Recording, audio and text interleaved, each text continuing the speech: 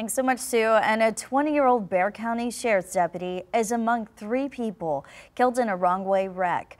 Meredith Portillo had only been with the force for a few months before her death early Sunday.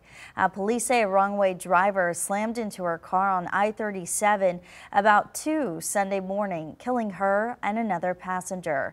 The wrong-way driver also died.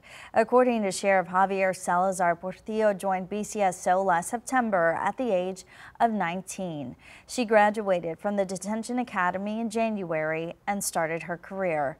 After her death, Portillo's father told Sheriff Javier Salazar that she loved her work.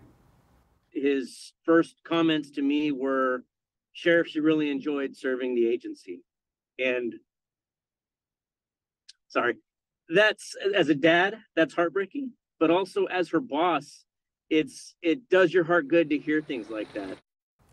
As for the crash, police say Portillo and the truck driver died on the scene. Another one of her passengers died in the ambulance, and the other is recovering in the hospital. The medical examiner says the other victims are in their 20s.